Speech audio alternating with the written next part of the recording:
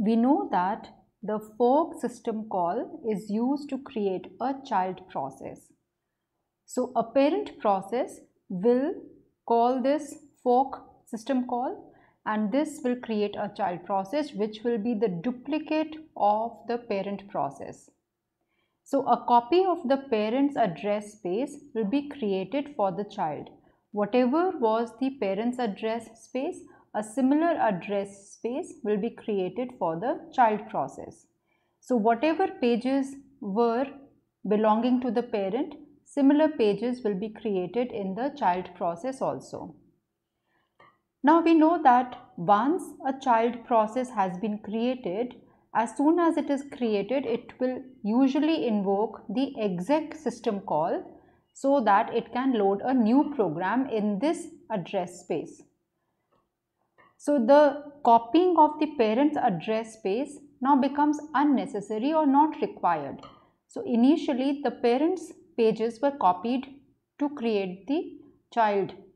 Now if the child is loading another program by using this exec system call then why should the parents pages be copied over here? So this becomes unnecessary. So we use a technique which is called a copy on write technique so this allows the parent and the child processes initially to share the same pages. That means that if there was a parent process P1 and there's a process which has been created now which is the process 2. So this is the parent process and this is the child process. So if A, B and C were the pages of the process A the, the same pages can be used by the child process. So the child process will also have access to the same pages rather than creating new pages for the child. So the parent and the child processes will share the same pages and no duplicate copies will be created.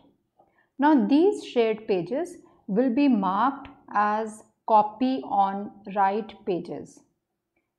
So only those pages that can be modified will be marked as copy on write.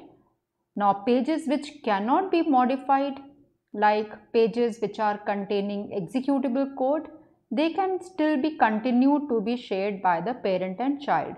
But pages can that can be modified like the pages which contain data, they will be marked as copy on write. So all the pages of the parent process now, page A, page B and page C can be accessed by the child process. Now if either process, either the parent process or the child process, if it wants to write to a shared page, then a copy of only that shared page will be created.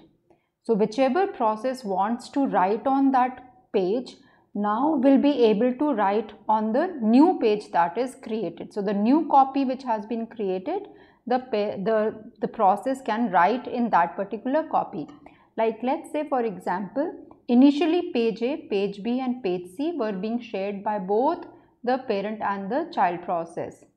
Now when let's say the child process wants to write into page C, so a copy of page C will be created. Now initially page A, page B and page C were all marked as copy on write pages. That means if any process wants to write, then copy it, make a copy of it. So now if process 2 wants to write on page C, but process 1 does not want to write or does not want to use the modified data, it is not required that process 1 should be using that data.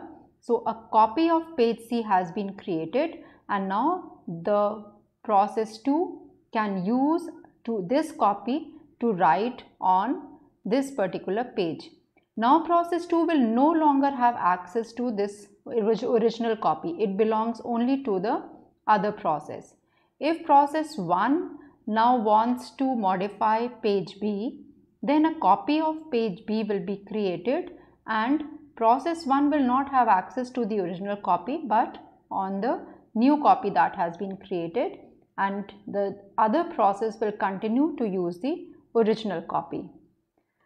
So the unmodified pages they will still be shared by the parent and child process. But whichever page is to be modified, only a copy of that particular shared page will be created. So this allows a more efficient process creation because now at process creation, all the pages of the parent do not have to be duplicated for the child. So the initial time at the initial stage both parent and child can share the same pages and as and when the either process which wants to modify a page then only the modified pages are copied.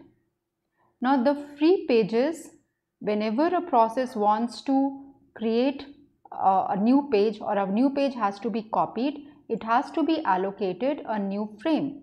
So for that new frame the pages are allocated from a pool of zero fill on demand pages or frames. So fill on demand means that on demand means that as and when they are required and zero fill means that the, content of those frames are erased before they are allocated. So the pool of the zero fill on demand pages should have free frames for fast demand page execution. So this is the concept of copy on write and it creates a efficient process creation technique.